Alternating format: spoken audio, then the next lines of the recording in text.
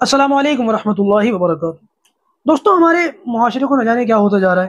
خاص طور سے بہت ساری لڑکیوں کو خدا جانے کیا ہوتا جا رہا ہے کہ بہت ساری لڑکیاں وہ عشق مجازی کے چکر میں گھر خاندان کو چھوڑ دیتی ہیں، بہن بھائیوں کو چھوڑ دیتی ہیں، ماں باپ کو چھوڑ دیتی ہیں، اپنی پوری زندگی چھوڑ کر کے کسی ایک انجانے شخص کے اپنے ہاتھ میں ہاتھ دے دیتی ہیں۔ اور پھر بعض مرتبہ اس طریقے کے معاملات، بعض مرتبہ کیا بلکہ اکثر مرتبہ اس طریقے کے معاملات دیکھنے اور سننے کو ملتے ہیں کہ علمان والحفیظ ہلدوانی سے ایک خبر سننے کو مل رہی ہے کہ ایک لڑکی مسلم بیک گراؤنڈ کی، مسلمان گھرانی کی، اس کو ایک لڑکے سے محبت ہو گئی۔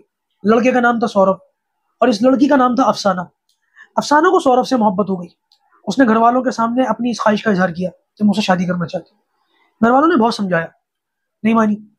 نتیجہ یہ ہوا کہ گھر والوں کو چھوڑ کر خمار چڑھ جاتا ہے نا، ایک موقع ایسا آتا ہے کہ طبیعت میں ضد ہر دھرمی خمار، جوانی کا نشہ، محبت کا نشہ اتنا زیادہ آگے بڑھ جاتا ہے کہ بعض مرتبہ اپنا اچھا اور بلا بھی برا بھی نظر نہیں آتا۔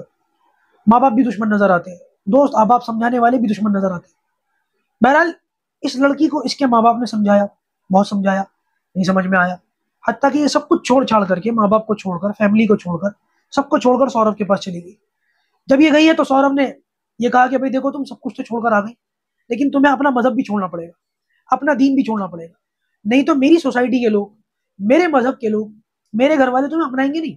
تمہیں سب کچھ چھوڑنا اب یہ آخری مرحلہ ہوتا ہے۔ سب کچھ چھوڑ دیا ماں باپ کو بھی چھوڑ دیا۔ اب اپنے دین کو بھی چھوڑ رہی ہے۔ اپنے بنانے والے کو بھی چھوڑ رہی ہے۔ نتیجہ یہ ہوا کہ سورب کی محبت میں اس نے دین بھی چھوڑ دیا، اسلام بھی چھوڑ دیا۔ اور اس کے طریقے کے مطابق، اس کی رسموں کے مطابق اس سے شادی کر لی۔ اب جب شادی ہوتی ہے تو شروع شروع میں تو جیسے کہ میں نے بتایا، جوانی کا جوش ہوتا ہے، محبت کا جوش ہوتا ہے۔ کچھ نظر نہیں آتا، دو چار مہینے تو ایسے ہی گزرتے ایسے ہی گزرے۔ لیکن پھر جب اوپر والا اولاد دیتا ہے، ذمہ داری دیتا ہے اور جوانی کا جوش ختم ہوتا ہے اور سر کے اوپر جو ہے اس طریقے کے معاملات آتے ہیں کہ اب گھر کرنا ہے، روٹی پانی کرنا ہے، بچوں کی پرورش کرنی ہے۔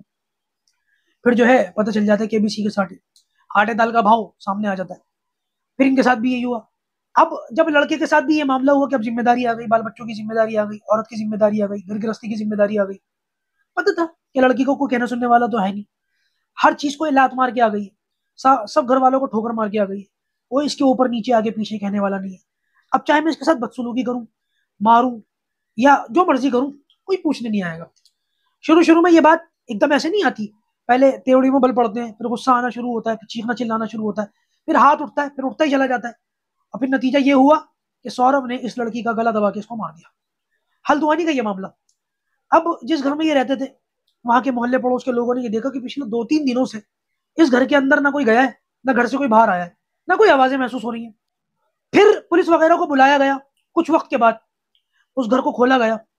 تو پتہ یہ چلا کہ لڑکی اندر مری پڑی ہے۔ اس کی ڈیڈ باڈی ملی۔ اور لڑکا اپنے دو بچوں کو لے کر کے متھرا بھاگ گیا۔ متھرا کے اندر رہ رہا تھا۔ پولیس وہاں پہنچی، تحقیقات کی، تفتیش کی۔ اس لڑکے کا پتہ لگا لیا اور اس کو فوراً گرفتار کر لیا گیا۔ میرے دوستوں میں ایک چھوٹی سی بات یہاں پر عرض کروں گا۔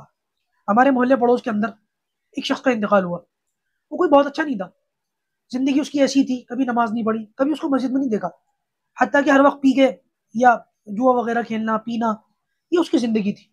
لیکن جب مرا ہے تو کم سے کم اتنی سعادت اس کو مل گئی تھی، کم سے کم کہ بیس پچیس آدمی اس کے جنازے میں تھے۔ لوگ اس کے جنازے میں شریک ہوئے، اس کو غسل دیا گیا اور اس کے لیے دعائیں مغفرت کی گئی۔